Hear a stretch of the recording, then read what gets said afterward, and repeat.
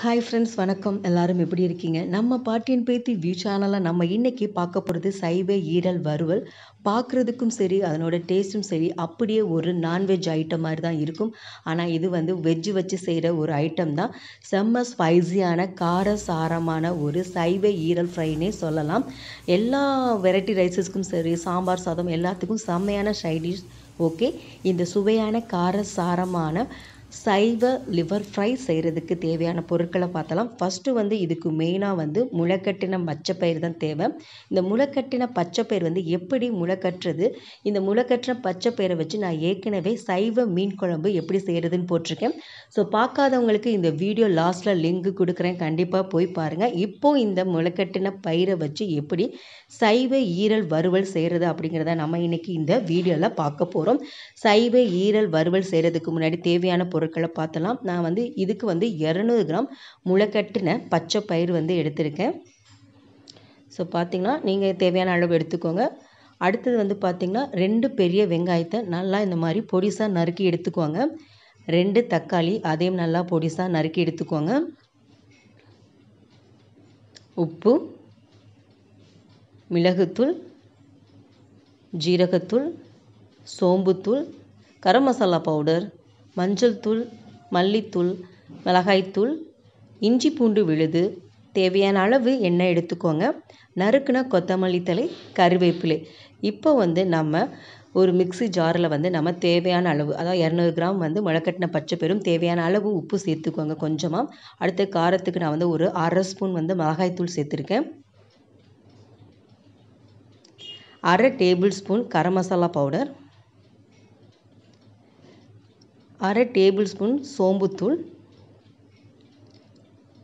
அரை table spoon ஜீரகத்தூள் அரை டேபிள் ஸ்பூன் மிளகுத்தூள் அரை ஸ்பூன் இஞ்சி பூண்டு விழுது சேர்த்துட்டு தண்ணி ஊற்றாமல் நல்லா கெட்டியாக அரைச்சிக்கோங்க. ஏன்னா நம்ம முளைக்கட்டின பச்சைப்பள்ளி அந்த தண்ணி வந்து இருக்கும். அதனால தண்ணி ஊற்ற வேணாம். நல்லா கெட்டியாக அரைச்சி எடுத்துக்கலாம் இப்போது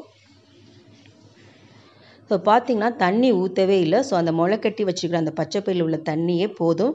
பார்த்திங்கன்னா இந்த மாதிரி கெட்டியாக அரைச்சி எடுத்துக்கோங்க. ஸோ தண்ணி ஊற்றினீங்கன்னா ரொம்ப தண்ணியாக போயிடும். ஓகே இப்போ நெக்ஸ்ட் எப்படி செய்யுதுன்னு பார்க்கலாம் ஸ்டவ்வை பற்ற வச்சுட்டு ஒரு பாத்திரம் எடுத்துக்கோங்க. அந்த ஒரு பாத்திரத்தில் ஒரு டம்ளர் அளவு தண்ணி ஊற்றிக்கோங்க இப்போ நம்ம வேக வைக்கிறதுனால நான் வந்து இடியாப்ப தட்டி எங்கள் வீட்டில் இருக்குது ஸோ அதில் தான் நான் வேக வைக்க போகிறேன் ஸோ நீங்கள் வந்து இட்லி பாத்திரத்தில் வேக வச்சுக்கலாம். ஸோ எப்படி இட்லி ஊற்றிக்கிறீங்களோ அதே மாதிரி இட்லி மாதிரி ஊற்றிட்டு அதை வேக வச்சு நம்ம எடுத்துக்கலாம். இப்போ இந்த இடியாப்ப தட்டில் ஒரு துணியை போட்டுட்டு அந்த பாத்திரத்து மேலே வச்சுக்கலாம். வச்சதுக்கப்புறமா நம்ம அந்த அரைச்சி வச்சுருக்கிற அந்த விழுதை வந்து இது மேலே சமமாக பரப்பி நல்லா தட்டி எடுத்துக்கலாம். ஸோ தண்ணி ஊற்றி அரைச்சிங்கன்னா வந்து தட்டுறதுக்கும் வராது. ஸோ சரியாகவும் வேகாது. ஒரு மாதிரி நம்ம பீஸ் பீஸாக நறுக்கும் போது ஒரு மாதிரி நல்லா இருக்காது. பீஸ் பீஸாக வராது. ஸோ அதனால தண்ணி சேர்க்காமல் இந்த மாதிரி கெட்டியாக அரைச்சி எடுத்துட்டு நல்லா வேக வச்சு எடுத்துக்கலாம் ஃபஸ்ட்டு ஸோ நான் சுற்றி நல்லா சமமாக இந்த மாதிரி தட்டி விட்டாச்சு. ஸோ தட்டி விட்டதுக்கப்புறமா மூடி போட்டு நம்ம மூடிட்டு வேக வச்சு எடுத்துக்கலாம்.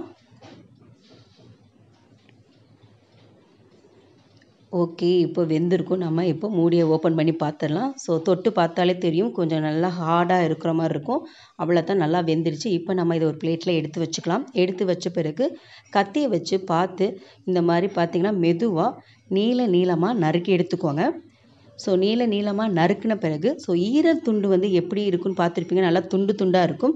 அந்த மாதிரி சின்ன சின்ன பீஸாக அதாவது அந்த ஈரல் துண்டு எப்படி இருக்குமோ அந்த மாதிரி துண்டு துண்டாக நம்ம நறுக்கி எடுத்துக்கலாம். ஸோ பார்த்தீங்கன்னா பார்க்குறதுக்கு அப்படியே மட்டனோட லிவர் மாதிரியே இருக்குது பாருங்கள் ஸோ அவ்வளோத்தான் நம்ம இந்த மாதிரி துண்டு துண்டாக நறுக்கி எடுத்து வச்சிடலாம். இப்போ வந்து எப்படி இதை வந்து வறுவல் மாதிரி செய்கிறது அப்படிங்கிறது பார்க்கலாம். ஸ்டவ்வை பற்ற வச்சுக்கோங்க. பற்ற வச்சதும் ஒரு கடாய் வச்சுக்கோங்க. கடாய் ஹீட்டானதும் தேவையான அளவு எண்ணெய் ஊற்றிக்கோங்க எண்ணெய் ஹீட்டான பிறகு ஒரு ஸ்பூன் அளவு இஞ்சி பூண்டு விழுது சேர்த்துக்கோங்க. இதை வந்து நல்லா பச்சை வாசனை போகிற வரைக்கும் நம்ம நல்லா வதக்கிக்கலாம். ஸோ நல்லா வதக்கியாச்சு. இப்போ வந்து நம்ம பொடிசாக நறுக்கி வச்சுருக்கிற வெங்காயத்தை சேர்த்தலாம். ஸோ வெங்காயத்தை சேர்த்ததும் அதையும் நல்லா வதக்கிக்கோங்க. ஸோ பார்த்திங்கன்னா வெங்காயமும் நல்லா வதங்கிருச்சு. இப்போ பொடிசாக நறுக்கி வச்சுருக்கிற தக்காளியை சேர்த்துடலாம் ஸோ தக்காளி சேர்த்த பிறகு தேவையான அளவு உப்பு சேர்த்துக்கோ. நம்ம ஏற்கனவே உப்பு சேர்த்து அங்கே முளைக்கட்டின பச்சை பயிரை நல்லா வேக வச்சுருக்கோம். அரைச்சி இப்போ தேவையான அளவு உப்பு சேர்த்துக்கோங்க. சேர்த்து நல்லா வதங்கினதுக்கப்புறமா கருவேப்பிலை சேர்த்துக்கலாம். அடுத்ததாக வந்து ஒரு டேபிள் ஸ்பூன் மஞ்சள் தூள் சேர்த்துக்கோங்க.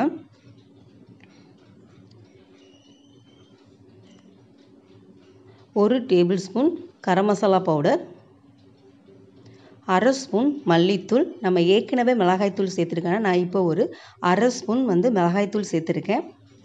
ஒரு டேபிள் ஸ்பூன் சோம்பு பவுடர். ஒரு டேபிள் ஸ்பூன் ஜீரக பவுடர். ஒரு டேபிள் ஸ்பூன் மிளகுத்தூள் சேர்த்துக்கோங்க. சேர்த்துட்டு இதை நல்லா வதக்கிக்கோங்க. ஸோ இந்த மசாலா பொருள்லாம் நம்ம நல்லா வதக்கிக்கலாம். ஸோ வதக்கிட்டு இந்த பச்சை வாசனை போடுறதுக்காண்டி நம்ம அந்த வறுவலுக்கு கொஞ்சமாக வந்து தண்ணி சேர்த்துக்கலாம். ஸோ நிறையா தண்ணி சேர்த்துக்காதீங்க. ஒரு அரை டம்ளர் அளவு தண்ணி சேர்த்துக்கோங்க. தண்ணி சேர்த்துட்டு நல்லா இந்த மசாலா பொருட்களை நல்லா இந்த மாதிரி மிக்ஸ் பண்ணி விட்டுருங்க. ஸோ மிக்ஸ் பண்ணி விட்டதும் நம்ம மூடி போட்டு மூடி வச்சிடலாம். நல்லா கொதிச்சு வரட்டும். ஓகே இப்போ நம்ம மூடி ஓப்பன் பண்ணி பார்த்துடலாம். ஸோ அந்த மசாலா பொருட்கள்லாம் நல்லா மிக்ஸ் ஆகி நல்லா கொதித்து தண்ணியெல்லாம் வத்திருச்சு. இப்போ வந்து நம்ம பீஸ் பீஸாக நறுக்கி வச்சுருந்த அந்த துண்டுகளில் போட்டு அது மேலே நறுக்கின கொத்தமல்லி தலையையும் போட்டலாம். போட்டுட்டு நல்லா மிக்ஸ் பண்ணிக்கோங்க. ஸோ ஏற்கனவே அந்த துண்டுகள்லாம் நல்லா வெந்துருச்சு. இப்போ வந்து அந்த கிரேவிலாம் வந்து அந்த துண்டுகளில் வந்து இறங்கணும். அதுக்காண்டி நல்லா மிக்ஸ் பண்ணிடலாம். மிக்ஸ் பண்ணிவிட்டு நம்ம ஒன் ஹவர் ஒரு டூ மினிட்ஸ் வந்து நம்ம மூடி போட்டு வச்சிடலாம். அப்போ தான் அது வந்து நல்லா அந்த கிரேவியெல்லாம் அதில் வந்து மிக்ஸ் ஆகும். ஓகே இப்போ வந்து ஓப்பன் பண்ணி பார்த்தலாம் மூடிய. ஸோ பார்த்திங்கன்னா நம்ம அந்த கிரேவி எல்லாமே வந்து பார்த்திங்கன்னா அதில் நல்லா மிக்ஸ் ஆகி நல்ல ஒரு மட்டன் ஈரல் ஃப்ரை மாதிரியே ரெடி ஆகிடுச்சு பாருங்கள் நம்ம சைவ ஈரல் ஃப்ரை இப்போ வந்து அவ்வளோதான் நம்ம ஸ்டவ்வை ஆஃப் பண்ணிவிட்டு இதை நம்ம ஒரு பிளேட்டில் எடுத்து வச்சுக்கலாம். ஸோ அவ்வளோதான் நம்மளோட சைவ ஈரல் ஃப்ரை வந்து ரெடி ஆயிடுச்சு. ஸோ பார்க்கும் போதே பார்த்திங்கன்னா அப்படியே ஒரு மட்டன் லிவர் ஃப்ரை மாதிரியே இருக்குது இந்த மட்டன் லிவர் ஃப்ரை நம்ம வந்து சாப்பிடும்போது அதில் எவ்வளோ சத்துக்கள் இருக்கோ அதை விட அதிக அளவு இந்த பச்சை பயிரில் செஞ்ச சைவ ஈரல் ஃப்ரைலேயும் இருக்குது ஸோ குழந்தைங்களுக்கு ரொம்பவே பிடிக்கும். இது கண்டிப்பாக செஞ்சு கொடுங்க. நான்வெஜ் சாப்பிடாதவங்க அந்த ஈரல் ஃப்ரை எப்படி டேஸ்ட்டில் இருக்கும் அப்படின்னு நீங்கள் நினச்சிங்கன்னா இந்த சைவ ஈரல் ஃப்ரை ஒரு தடவை செஞ்சு பாருங்கள் அப்படியே எந்த டேஸ்ட்லேயும் சரி அந்த பீஸா இருக்கட்டும் எல்லாமே அப்படியே அச்சு அசல் ஒரு நான்வெஜ் லிவர் ஃப்ரை மாதிரி இருக்கும். Okay friends thank you thanks for வாட்சிங் ஸோ லைக் பண்ணுங்கள் கமெண்ட்ஸ் பண்ணுங்கள் மறக்காமல் சப்ஸ்கிரைப் பண்ணிடுங்க